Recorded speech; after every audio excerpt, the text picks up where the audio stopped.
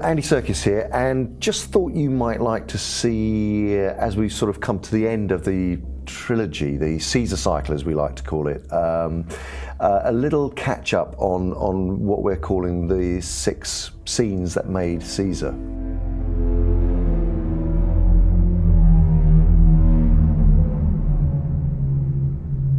This was one of the most um, emotional scenes to shoot in, in the first film.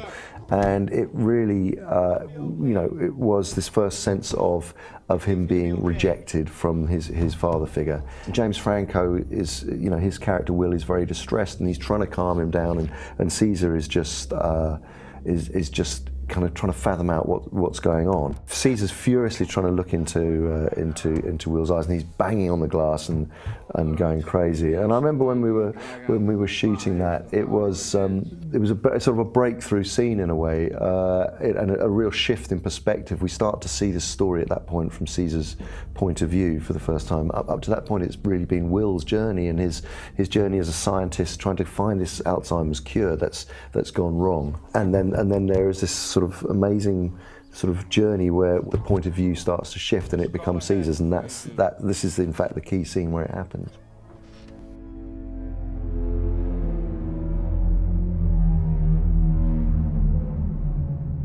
This part of the story is after they've, they've the apes have crossed San Francisco Bridge and are, are running away to freedom, led by Caesar, and Will is chasing after them. And Will tries to convince him that, that he should come back, that, that he doesn't want to see Caesar in danger and that he should come home. At this point, Caesar looks him square in the eyes and says, the, what, you know, three of the four words that he says in this movie. The first word that he ever utters in the movie, uh, using human language, is no. And, in, and then these three words, Caesar is home is uh, is what, what he says to Will, and it's a, it's a very tender moment, a kind of which both has you know this there's it is saying goodbye to his father, but also saying I know what I've become now, and I know what my place is, and I know that I've arrived, and um, it's a sort of a real kind of moment of transition where he's surrounded by his fellow apes, and Will, James Franco's character, realizes that he has to say goodbye to him and that this is, this is the final departure, really, and that there's a mutual respect and love between them, but uh, they can no longer exist uh, in the way that they have done before.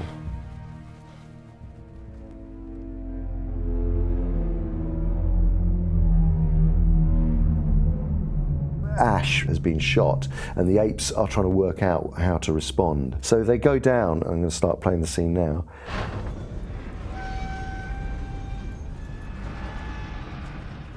Doors part, and they see the humans standing there. The, horse, the, the apes are all, all on horse, ho, horseback. We had very well trained horses um, but they they would they did not like human beings pretending to be apes riding them. So there was this extraordinary situation where they, they were quite skittish, and we had to be very still for the scene. That all the apes would come down, and we were sitting on our horses. And I I had a horse called Shirley, and uh, Shirley was not happy about an ape riding on her back, and she was this very male-looking horse, very brutish-looking, but actually very very skittish. And so it started off with with, with, with me riding forward very slowly. I'm just going to play the moment actually now. I'm going to relive the horror because what happened was uh, that as I sort of slowly march forward and it's very uh, intense, and I'm looking down at Jason Clarke's character, and I say these words apes do not want war. And as soon as I go apes, Shirley just starts to run sideways, and I run sideways with her, and I'm trying to hold her in position. And every single time we kind of came to this moment, Shirley would would buck. So it ended up after we'd shot it a few times, and Shirley had you know thrown me this way, that way, and gone over all over the place. I ended up having to shoot sitting on a ladder, and um, which was not great because every time the doors opened and we reshot this moment where you know Jason would walk out and then Gary Oldman would come out, you know there would be in fact more and more apes not sitting on horses and more apes sitting on ladders. Anyway, not to destroy the myth, you know it was a very powerful moment, but I have to give you a little bit of an insight into what was actually going on.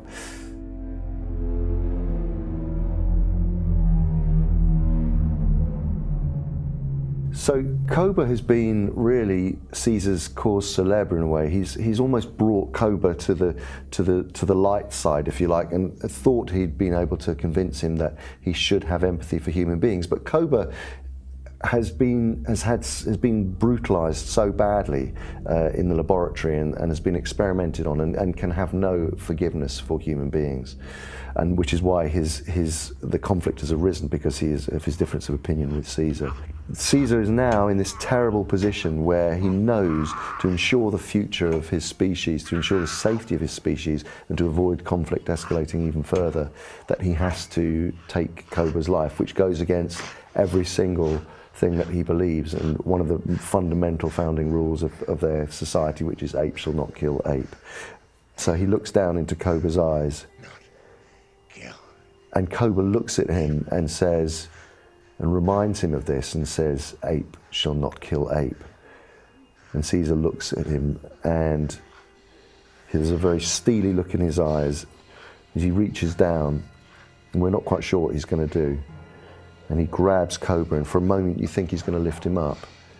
He looks around and he sees he, he, he, sees all the apes that are wounded, including Maurice, and then he returns. He looks back at Koba and then he says the words, "You are not ape." And then he releases him, and Koba falls, falls to his death. And then we return to, to Caesar. The look in Caesar's eyes at that point is both a sense of something that he's had to do. He's had to do this to ensure the future of his species, but he knows that he is forever changed, that he will carry that guilt with him for the rest of his life.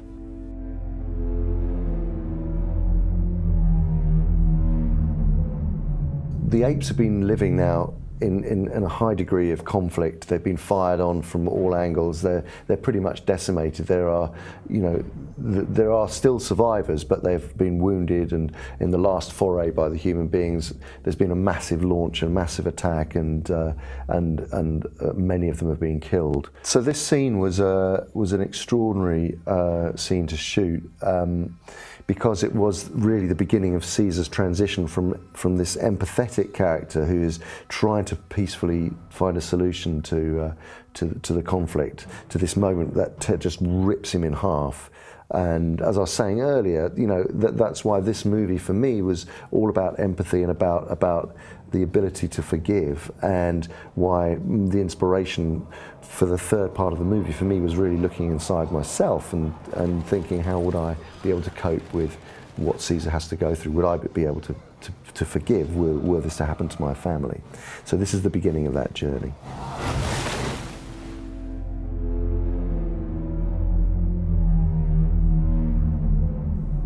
So Caesar's finally led his people to what in effect is the promised land. He has become this um, Moses-like character. We've seen the Exodus across the hills, and then when he reaches the point uh, where, where, you know, which looks like paradise, he settles down, and as he sits down, he slumps, and he re realizes that his life is ebbing away, that he can go no further, and there's a very connective um, scene between Maurice, his his his consigliere throughout the three movies.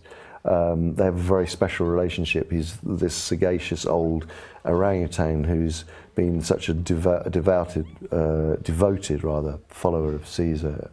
Um, and he knows now that the life is ebbing away from Caesar's eyes. And it was an incredible scene to play. In fact, we shot this halfway through uh, the filming of War for the Planet of the Apes. So it was a very bizarre switch to go from um, all of the other activity in the in the prison sequences to go and shoot this on a set and to suddenly leap to the end of the movie. And in fact, what has ended up in the movie was the very, very final take.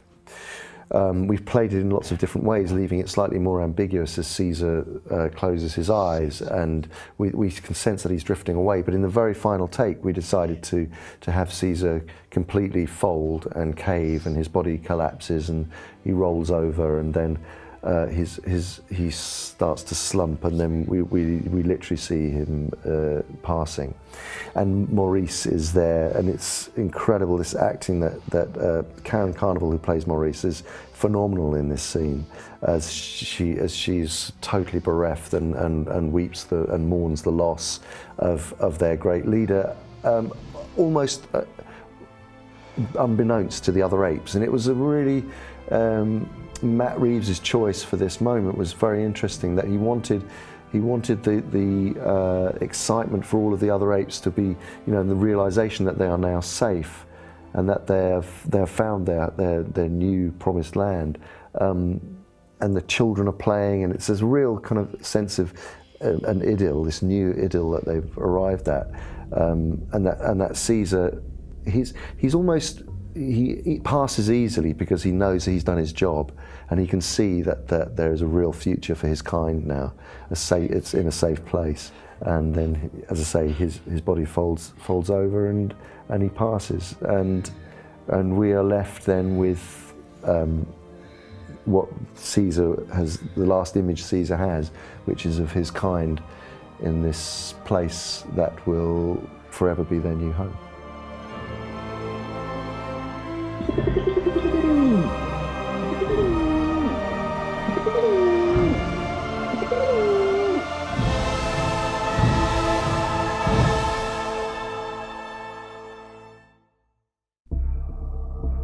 If you like that, check out the first 17 minutes of brand new Serkis produced Planet of the Apes Last Frontier game, or you can watch Andy and Woody Harrelson responding to IGN comments.